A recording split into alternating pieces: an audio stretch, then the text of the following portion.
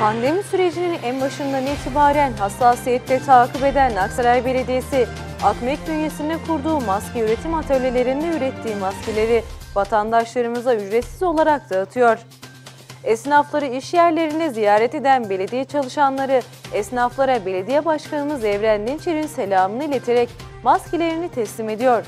Belediye ekipleri ziyaret ettikleri esnaflara salgının yayılımcı etkisini ortadan kaldırmak için maske kullanımının, sosyal mesafenin korunmasının ve hijyen kurallarına uyulmasının önemli olduğu uyarısında bulunuyor.